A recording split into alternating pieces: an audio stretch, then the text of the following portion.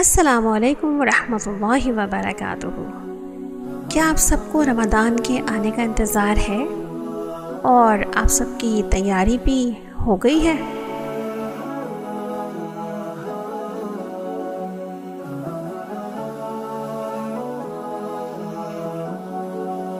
चलिए इस बार हम कुछ माइंडफुलनेस के साथ तैयारी करते हैं।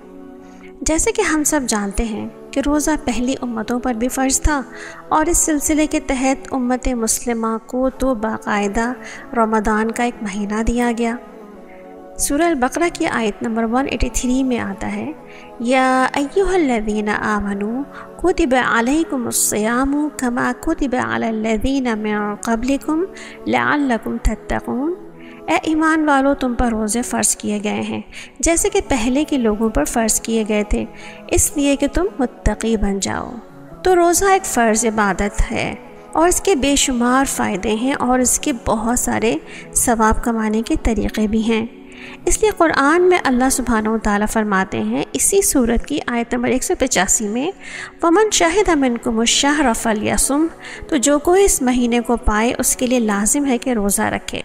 आप सल्लल्लाहु अलैहि वसल्लम ने फरमाया कि जन्नत में एक दरवाज़ा है जिसका नाम रैयान है। क़यामत के दिन रोज़ेदारों को इसमें से दाखिल किया जाएगा और उसे कभी प्यास नहीं लगेगी।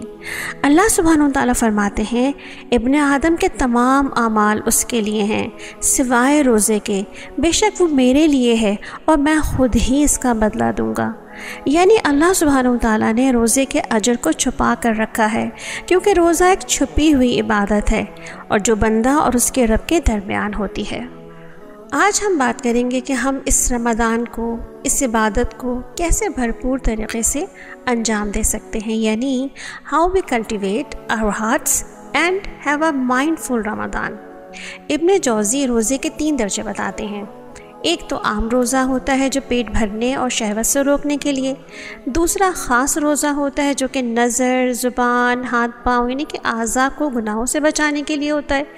तीसरा ख़ास रोज़ा होता है जो कि दिल और जहन को बेकार ख्याल और अफकार से पाक कर देता है। आज का मौजू में हम ख़ास ख़ास पर बात करेंगे, जो कि सब चीज़ों का अहाता कर लेगा। सबसे पहले तो हम सब अपनी नीयत को खालिस कर लें कि जो भी करेंगे, अल्लाह के लिए करेंगे। इसलिए कोई लंबी लिस्ट बनाने से बेहतर है कि हम ये देखें कि हम क्या दिल और जहन को हाजिर रख कर कर सकते हैं। और वो क्यों? Because we will focus on to become the better version of our self and take a journey to our soul transformation तो चले इसकी इब्तदा अपनी नीयत से करते हैं। और इस नीयत की इब्तदा करने के लिए हम इसके तीन टूल्स को देखेंगे। सबसे पहला टूल तो ये है कि हम अपनी नीयत को रिवाइव कर लें। और इसमें हम तीन स्टेप्स में अपनी नीयत को रिवाइव करेंगे। सबसे पहले हम आ जाते हैं इस पर take a deep and long breath and think mindfully क्या सोचना है हमने एक डीप ब्रेथ लेने के बाद? कि आज हम रोज़े के बारे में अपनी कौन सी नीयत को करने जा रहे हैं? यानी हम एक्टिवेट करने जा रहे हैं अपनी इंटेंशंस को, यानी कि नीयत को। यानी कि हम सोचें कि हम क्या नीयत करने जा रहे हैं, यानी कि हम नीयत को भी इंटेंशनली करेंगे इस वक्त। फिर हम एक और ब्रेथ लेंगे take a deep breath relax your mind and your body कोई भी ऐसी बात ना सोचें कि आप नहीं कर सकेंगे। या हर साल ही मैं तो प्लान बनाती हूँ, पर हर साल अमल नहीं कर पाती। So relax and don't think anything like that अब तक आप नीयत को करने के बारे में थोड़े से सीरियस हो चुके हैं। दैन टेक अनदर ब्रेथ गहरी सांस लें और सोचें कि क्या नीयत करनी है। जैसे कि मैं रमदान में अपनी नमाज़ों को माइंडफुली कैसे पढ़ सकती हूँ। और इस नीयत के साथ अपने साथ कोई ज़िक्र भी बाँध लें। जैसे कि नमाज़ के लिए अल्लाह अकबर कह दें तो जब भी नमाज़ में अल्लाह अकबर कहते हुए आपको अपनी नीयत याद आ जाएगी। यानी कि इसमें आप अपनी माइंडफुलनेस स्टेट में आ जाएँगे। तो intentions are micro moments of meditation and we are gifted with as a Muslim इमाम गज़ाली इसी तरह अपनी नीयत और अल्लाह से क़ुर्ब को बढ़ाने के तरीक़े बताते हैं। वो कहते हैं कि दिल को सारे खदशात से खाली कर लें। सारी सोचों का महवर सिर्फ़ अल्लाह ताला की ज़ात के अखलास के साथ हो जाए। अपने दिल की हाज़िरी को महसूस करें और इस तरह अपने दिल को अल्लाह की याद के लिए ट्रेन कर दें।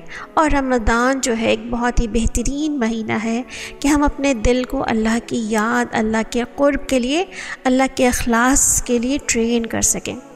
गज़ाली मज़ीद कहते हैं the fasting of the heart is the highest level of fasting along with the fasting of the body यानी कि माइंडफुल रमदान का तीसरा टूल है हमारी फैमिली के साथ ताल्लुक़ात। जो हम अवतार और शहर में बढ़ा सकते हैं। यानी हमारी मौजूदगी दूसरों के लिए मोहब्बत और हमदर्दी का बायस हो। अल्हम्दुलिल्लाह, जब हम अपनी नीयत कर चुके हैं और कुछ ना कुछ हमने सोच लिया है रमदान में अपनी नमाज़ों, अपने ज़िक्र, अपनी इबादत को बेहतर करने का तो अब हम देखते हैं करने का काम क्या है। नंबर एक तो ये कि अल्लाह का ज़िक्र माइंडफुलनेस के साथ करें। अल्लाह बिज़िक्र तत्मा इन्नकुलूब क्यों? लालकुम तत्तकून, ताकि हम बच सकें।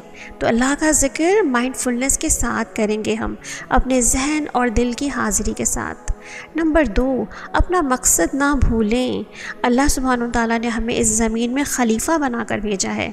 तो रमदान के अंदर हम ईमान और एहतसाब के साथ जो कुछ भी करेंगे, अपने आने का मकसद को याद रखते हुए करेंगे। नंबर तीन, अल्लाह का शुक्र अदा करेंगे। क्यों? क्योंकि अल्लाह ताला फरमाते हैं, ला इन शकर तुम ला अजीदन्नकुम। शुक्र नेमत को और बढ़ा देगा। और अल्लाह ताला हमसे चाहते हैं ला तशकुरून, ताकि तुम शुक्र अदा करने वाले बन जाओ। फिर चौथा काम हमारा होगा सब्र और आजिज़ी से अपने जज्बात को कंट्रोल कर लेना। अल्लाह ताला कुरान पाक में फरमाते अलकाज़मीन अलगैज़ वलाफ़ीना अनन्नास इन्हें गुस्से को पी जाना और लोगों को माफ़ कर देना। और कोई झगड़ा करे हमसे तो आप सल्लल्लाहु अलैहि वसल्लम ने हमें बताया कि क्या कहना है? इन्नी सायम, मैं रोज़े से हूँ। फिर पांचवा काम है हमारा अल्लाह की रहमत और शफ़क़त को अपने अंदर महसूस करें और दूसरों के साथ भी शफ़क़त और रहमत का बर्ताव करें, क्योंकि हमारे नबी रहमत भी इसीलिए दुनिया में आए थे। और वो कैसे थे? काना अजवदुन्नास। और उनकी रहमत कैसी थी रमदान में? कि हर एक को पहुँच जाती थी। तो हमारा दीन हमें इस दुनिया में माइंडफुलनेस के साथ जीना सिखाता है।